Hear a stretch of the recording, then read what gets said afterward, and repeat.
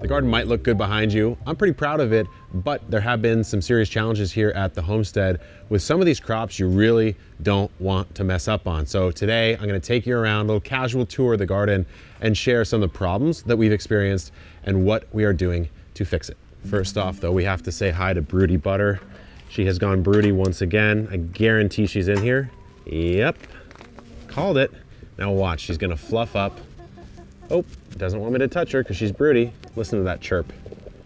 Butter, chill, okay? Just chill. Oh my God. The first major problem has been in the garlic patch. And for sure, I thought this was gonna be the best garlic patch that I've ever had.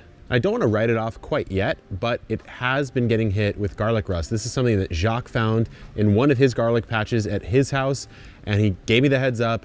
I ran out to check. It turns out I had some early signs of garlic rust. We've already done a pretty severe treatment. I hope and I pray it's enough to actually save this garlic. Because when you're growing garlic, guys, it's like 150, 180 days, six months of a year, or maybe like one two hundredth of a human life. Think about it that way. You don't want to mess this garlic up. So let me take you down here and show you the signs. So first off, take a look at the tops. I really shouldn't be seeing significant browning at this point in their life. They've still got at least two months worth of growth and they're just getting absolutely fried here at the top, not because they are mature, because you will see that I'm actually not getting full bulbing. It's about to. If it had two more months, it would, but it's dying at the top while it's not super bulbed out, which means that it wasn't supposed to do that, which means something else is causing it, and that something else is garlic rust. Take a look, you've got this sort of mottled appearance here. So what we've done is come through and spray all of this with a sulfur mix. It's one of the few things that can actually control it. I'm really not a big fan of spraying anything if I can avoid it, but in this case, with this much investment in time, love, and energy into the crop, I felt it was worth it, and we isolated it just to this area, so I'm not really too worried about any sort of cross-contamination or anything like that. Sometimes you've gotta take measures into your own hands to save your crop. I would much rather do this than lose six months of time and honestly quite a bit of money buying all of these cloves and popping them in. Before we go into our next problem, let's celebrate a little success, and that would be the asparagus. It's been cut back multiple times, mulched over. You're seeing a purple asparagus come up, and over there you also have some green asparagus. So these are spears I can harvest if I want to, or I can really let this all grow out for one more season, and then next year I'll just have a boatload of asparagus coming out. All right, let's move on over to my favorite crop, the potatoes, which again are having some problems. I'm less worried about the potato issues than I am the garlic because these were already getting closer towards maturity. I planted these in November. It's about April right now, so they've had a lot of time to grow. Now that's actually more time than a potato would normally need, but in this case, it was grown through our winter or sort of our long fall here in San Diego, so it's gonna grow slower, so that days to harvest is gonna push out. But we're just seeing some disease on these potatoes that is decimating the leaf tissue, which means that, I mean, effectively, these tubers are gonna get kind of locked at the size that they're at because there's not gonna be enough leaf tissue up top to generate energy and throw it down towards those tubers. So if you take a look here, you can see it's just getting completely obliterated. Um, you've got situations like this where, you know, that's all just coming right off.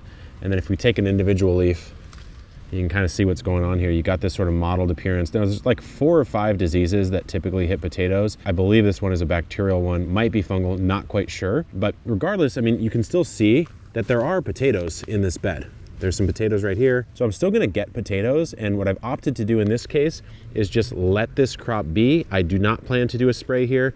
Some of these are obviously less affected than others. I'm just gonna wait until this fully dies off so that all that energy does go down to the tuber and just kind of see what I get. The issues in the potato bed have made me potentially reevaluate the timing that I grow these potatoes. I was talking with Jacques a little bit and he was saying he's thinking about maybe not planting them through the winter next time and instead just maybe sowing a crop in about February or March in our season. So just basically a pure spring potato crop, maybe a late summer, early fall one, and that's about it.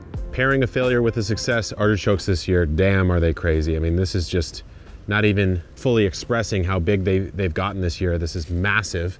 This one's getting a little bit old, but I need to come through and do a harvest.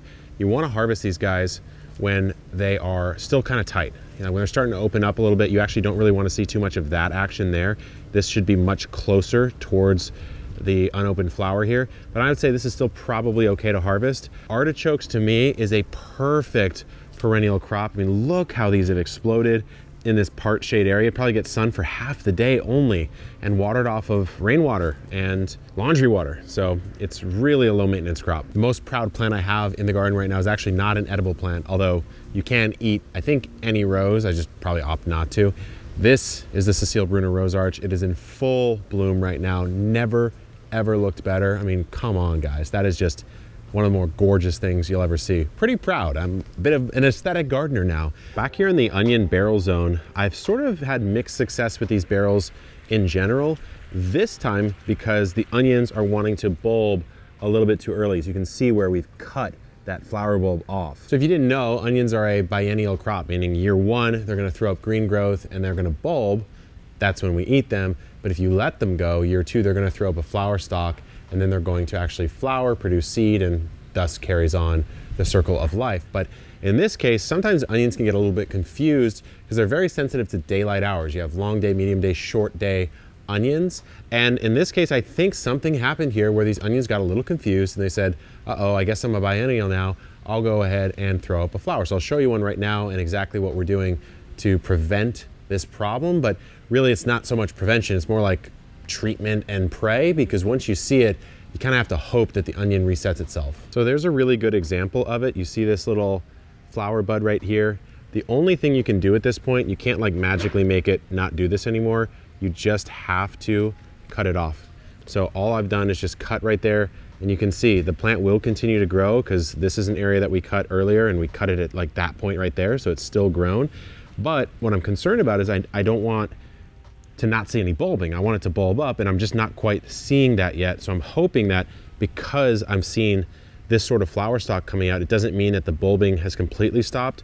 On some of these other ones, it does seem like it still has continued to bulb up, like this one right here, or, or this one right here. So I don't know, we're gonna have to see, but if you see a problem like that with your onions, that would be my advice. But with every garden loss comes garden success. And what we have here is just this boatload of new plants that we're gonna be putting in, including a tree. So this is all going in the Epic Pond, which we have started to landscape a little bit, but man, we've got some isotoma, we have some thyme, we have some ornamental strawberries, some California natives, as well as just some nice sages and shrubs. All of this is gonna come around and be worked into this area right here. So right about here, we're going to break this ground up add a little bit more ground cover. I actually have this bench here that's in memorial of my dad, but it's just a really peaceful place. So what I wanna do is beautify this area, put a couple shrubs right there and right there, framing that bench and clearing out that area. So it like looks, looks really, really nice. We'll smooth all this out here. This feather grass is looking gorgeous. Look at that. I mean, come on. Honestly, it kind of feels like hair, almost like a, like a fluffy pet. If I'm close up, can you tell this isn't a pet? Because to me, it looks like one. But what we're gonna do is come in, place a tree here. We'll put another tree probably somewhere around here and we're gonna do more ground cover here, more shrubbery here. We're gonna take a couple more of these flagstones, go one flagstone there, boom, then come up this pathway right here and then landscape around this with some medium height stuff because I don't wanna block off the passion fruit that we have growing here. It's taken a little slower to start than I would have liked, but basically gonna beautify this entire pond area. Because what we effectively have right now is this absolutely gorgeous, natural looking pond with a very unnatural landscape around it. It doesn't really fit in. What we've done is pick some amazing landscaping plants with Sarah Bendrick and some local nurseries and trying to create a space that feels natural. It's not all California native, but there are a lot of California natives in here. I've noticed a lot of wildlife coming in, mammals, birds, insects, etc if I add more around this landscape to make it look and feel like a natural pond, I'm gonna see even more of that life come in. And that life not only brings a lot of beauty to the garden, I was sitting out here with my girlfriend, we were just enjoying some dinner, and there was like a five hummingbird battle going on right down there at the pond return. It was an incredible sight, just like little entertainment from nature itself. We're gonna do that and then maybe even think about adding a pergola in this area which we can grow grapes over. So we have some shade in the entertaining zone right here but then we have natural landscape over here and going on back because there used to be a big hole there. We filled the hole in and I think that means there's a lot of space in the ground to create a beautiful backdrop because I'll show you you want to look and solve for that eye line when it comes to the pond and really any garden space. So I'll show you the eye line right now and you'll kind of see what I mean by it looking a little bit drab. So imagine you're coming into the garden, you say, ooh, nice greenhouse, ooh, beautiful. You got this beautiful garden over here, coop, etc. Then you turn this way and you say, oh, look at this amazing pond patio area. But then when you look beyond it, you just see nothing. There's nothing to kind of stop the eye. In this area here, in this area here, you got a little bit of that feather grass doing that. There's no bench there, there's no shrubbery there, no back of that landscape. Higher textures, different colors, lower textures. And so, you know, there's blank area right here. I'd love to block that cistern off a little bit more. And of course, have something wrapping around up here, making it feel very lush and filled in. And so I am trying to get more into that landscaping. A few struggles, a few failures, but a lot of cool stuff coming here at the homestead. It's the beginning of the season for a lot of you, so I'm really curious. Let me know what your biggest struggle is this year in the garden or in your homesteading journey. Comment down below. Really want to hear from you guys. Love hearing from you guys. And until next time, good luck in the garden and keep on growing.